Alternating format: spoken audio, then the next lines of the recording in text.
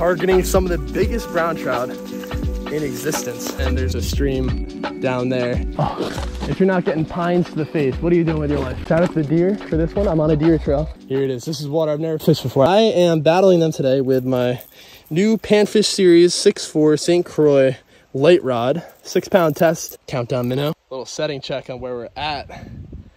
This is just a gorgeous place. Got him. Fish on. There we go. We're landing this thing. That's a brookie. It's a giant. The biggest brookie I've seen in such a long time. Oh shit, got him, got him, big one. Wait, this is an absolute monster.